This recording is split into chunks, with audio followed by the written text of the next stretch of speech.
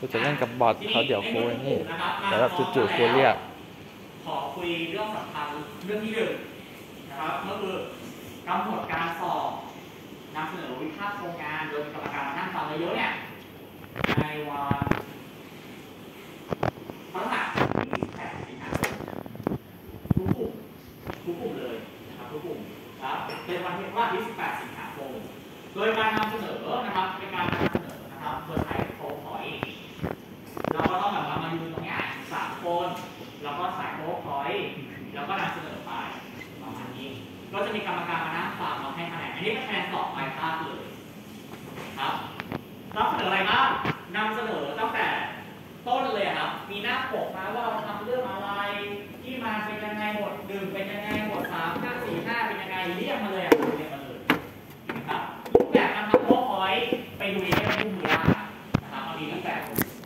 นะครับอะเรื่องที่สองนะครับเรื่องที่สองก็คือ อันนี้ครูได้คุยกับกลุ่มห้องห้าไปแล้วนิดนึงสองกลุ่มนะครับก็คือในวันสัปดาห์วิทยาศาสตร์นะครับ ซึ่งเปลี่ยนวันนะ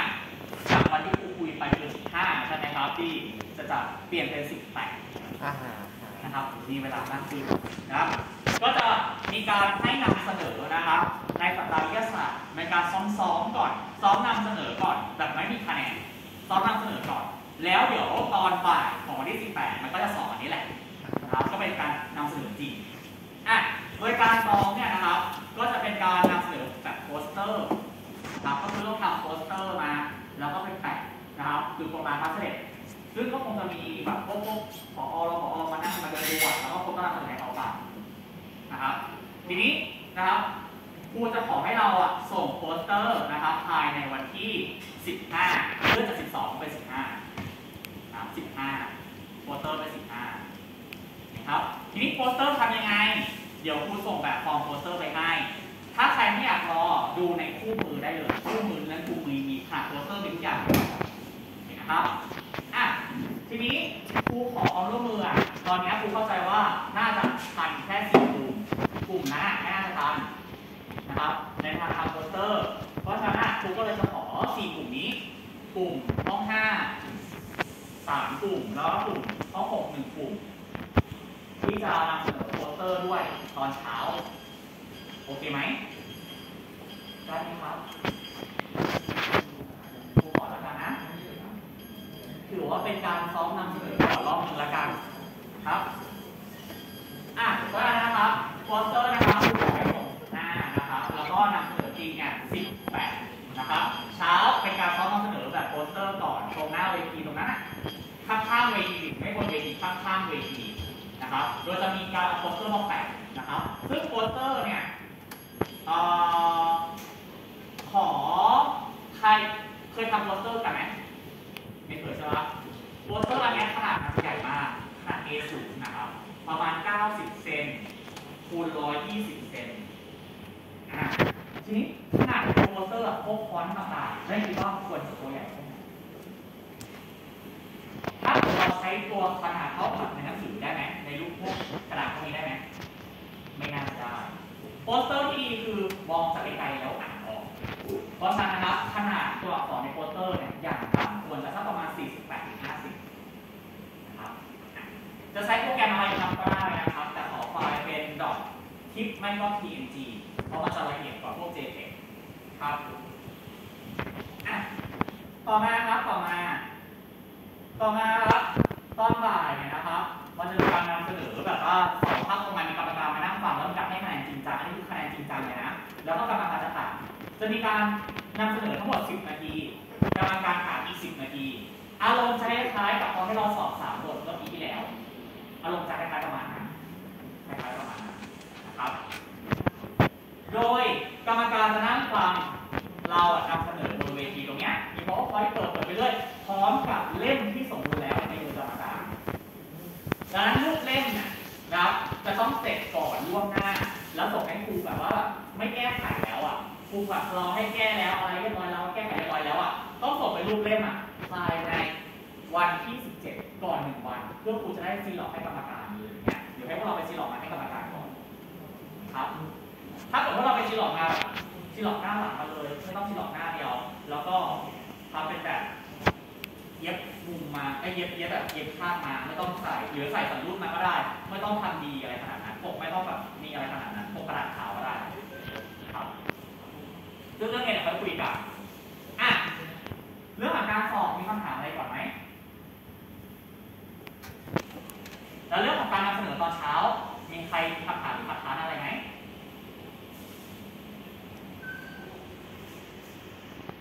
ไปกันนะไปนะ เพราะว่าเดี๋ยวหลังจากนี้มันก็จะหมดแล้ว มันก็จะไม่มีอะไรแล้วนะครับ อะนะช่วยอีกนิดนึงนะครับ ทีนี้เดี๋ยวตอนนี้นะครับ เราจะมาคุยเรื่องบท 4 กับบท 5กันนะครับ ที่เราทำมาแต่ละกลุ่มนะครับเดี๋ยวกูขอกลุ่มของเราก่อนเพราะกลุ่มของเราจะสมบูรณ์ที่สุดนะครับในเวลาทั้งหมดครับอะกลุ่มนี้ไปแล้วเนาะเพราะฉะนั้นเดี๋ยวเราฟังของเพื่อนก่อนนะครับว่าเพื่อนเขาทำแบบไหนเพื่อเราได้ทำแบบเนี้ยตามของเพื่อนเขาสำหรับกลุ่มของเราคือกลุ่มของกาบไปชากลุ่มของกาบไปชาถือได้ว่าค่อนข้างสมบูรณ์ที่สุด เพราะว่ากลุ่มเราทำเร็วมาก แล้วก็ทำมาได้ค่อนข้างเยอะนะครับ เริ่มต้นนะครับบทสี่ของเรามาเนี่ย โอเคข้างบนถูกแบบฟอร์มทุกอย่างถูก pattern เกือบถูกเกือบหมดเลยครับ มันผิดเล็กน้อย ซึ่งแบบมันไม่ได้สำคัญมากอย่างเช่น มันไม่ชิดหลังอะไรเงี้ย อันนี้ไม่ได้สำคัญมากเท่าไหร่ แต่ส่วนใหญ่จะถูก pattern ส่วนใหญ่ใช่ว่าส่วนใหญ่ถูก เรามาดูเนื้อหา เริ่มต้นมาเนี่ย ก็เขียนเกริ่นนำมาก่อน โครงงานเรื่องนี้นะครับ เป็นการศึกษาอะไร โอเคทำดีแล้ว ต่อมาครับ ของเรามีจุดประสงค์ คืออะไรครับคุณจำไม่ได้ โดยประมาณก็ได้นะ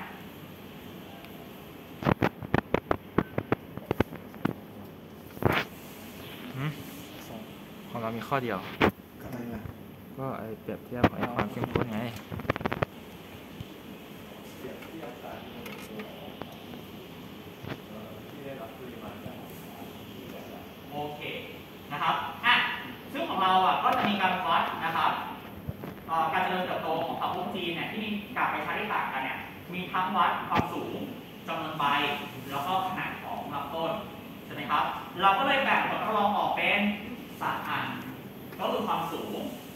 จำนวนใบและลำต้น โอเคครับ แบ่งอย่างนี้ได้ ซึ่งครูไม่ขัดค้านเลยในพวกเนี้ยแบ่งได้เลยครับ4.1 4.2 4.3โอเคเลยครับตามที่เราว่ามา 10.1 ผลของกาบใบชา หรือจริงๆแล้วตรงเนี้ยถ้าเติมให้ดีหน่อยก็คือผลของปริมาณ เพราะว่า เราอะเปรียบเทียบปริมาณว่าปริมาณกากใบชาเยอะน้อย เราไม่ได้บอกว่ามีกับไม่มีเฉยแต่เราดูเรื่องปริมาณเยอะแค่ไหนครับเพราะฉะนั้นผลของปริมาณกากใบชาต่อความสูงเฉลี่ยและความสูงที่เพิ่มขึ้นของของจีนโอนี้โอเคนะครับต่อมาขึ้นต้นมาเกิดนำอย่างนี้ก่อนดีครับ คือควรเกิดนำมาก่อนว่า เราทดลองอะไรนะครับเรานำหุ้นจีนเนี่ยไปปลูกในวัสดุปลูกที่มีส่วนผสมของใบชากับใบชาในอัตราส่วนที่แตกต่างกัน ซึ่งแบ่งออกเป็นทั้งหมด 4 ชุดการทดลองไอ้สามสามชุดการทดลองใช่ไหมสี่สี่สี่ชุดการทดลอง ทีเนี้ยตรงเนี้ยเราจะเขียนอย่างเงี้ยครูก็ไม่ว่าแต่มันวนเวอร์นะ แต่ว่าเขียนแบบนี้ก็ได้ไม่ผิดนะ แต่ถ้าเกิดแนะนำก็คือเราอาจจะบอกว่ามีทั้งหมด4การทดลองอะตรงนี้นะ แต่ต่างกันทั้งหมด 4 การทดลองได้แก่ ไม่มีกากใบชา มีกากใบชา 40%ของน้ำหนักดิน มีกากใบชา 50%ของน้ำหนักดิน มีและมีกากใบชา 60%ของน้ำหนักดิน ตัดคำว่าลองชุดหนึ่งสองสามสี่ออกไปเลยก็ได้ เพราะยังไงเราก็บอกไปอยู่แล้วว่ามันต่างกันยังไงครับอะแล้วถ้าเกิดบทในสามบทสามเราเคยพูดไปแล้วอะว่ามันหนึ่งสองสามสี่มันต่างกันยังไงเราอาจจะตัดตรงนี้ออกก็ได้ เพื่อโยนคือเรื่องตรงเนี้ยนะครับ มันทำให้มันดูอ่านง่ายขึ้น อีกอย่างหนึ่งพอโยนตรงนั้นไปเสร็จปุ๊บตรงเนี้ยมันจะโยนได้ด้วยนะครับพวกกาพวกตารางพวกเนี้ยมันเล็กเห็นไหมมันจะโยนได้ด้วย มันจะย่อได้ด้วย ประมาณนั้น แต่ถ้าจะใส่คุณไม่ว่าเอ่อคือจะแก้ข้อมูลก็คือต้องแก้ตารางด้วยใช่ใช่ใช่ใช่นะที่คุณเห็นว่าเอ้ยมันอยากแก้นิดนึงเพราะว่าการดมันมองไม่เห็นเนี่ยมันเล็กตัวหนังสือมันเล็กไปนิดนึงแค่นั้นแหละนะครับก็เลยคิดว่าเฮ้ยน่าจะแก้นิดนึงก็ดีแต่ว่าถ้าใส่มาอะไร ทีนี้ต่อมาเราบอกว่าผลการทดลองของเราเนี่ยหลังจากที่เราอะปลูกไปแล้วเนี่ยเราควรจะบอกเขานิดนึงตรงนี้ก็นิดนึงว่าสิ่งที่ชุดทดลองมีอะไรบ้างและทำการวัดความสูงทุกๆกี่วัน ของ เขียนไปแล้วทุกๆสามวันออกนะทุกๆสามวัน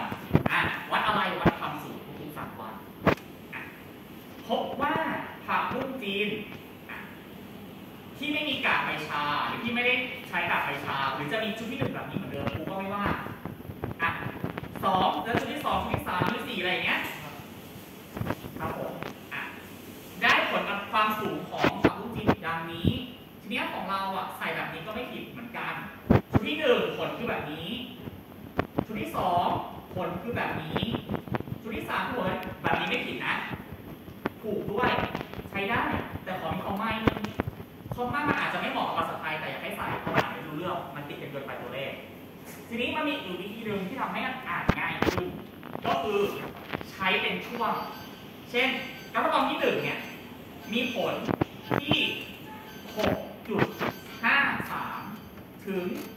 28.17 อย่างเงี้ยครับ ใช้เป็นช่วงเอา แล้วเดี๋ยวเราค่อยไปอธิบายในตาราง มันจะทำให้ตัวเลขน้อยลง แต่ว่าใส่อย่างเงี้ยไม่ผิดครูก็เลยไม่ได้แก้อะไรนะครับ แต่ที่ครูอยากให้แก้เลยคือ หน่วย หน่วยไม่เป็นตัวย่อ หน่วยขอเป็นชื่อเต็มเซนติเมตรเต็มเต็มนะครับ ต่อมาครับ ตารางที่หนึ่งนะครับตารางที่หนึ่งตารางแสดงความสูงเฉลี่ยของผักบุ้งจีน ทีนี้อยากให้เติมเข้าไปนิดนึงนะครับตารางแสดงความสูงเฉลี่ยของผักบุ้งจีนที่ได้รับอะไรต่างกันที่ได้รับการปลูกในวัสดุปลูกที่ต่างกันที่ได้รับการปลูกในดินที่ผสม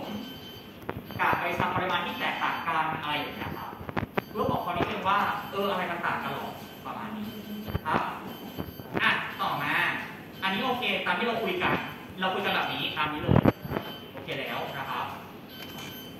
เราก็ทำกราฟออกมาโอเคแล้วนะครับตามนี้ที่เราคุยกัน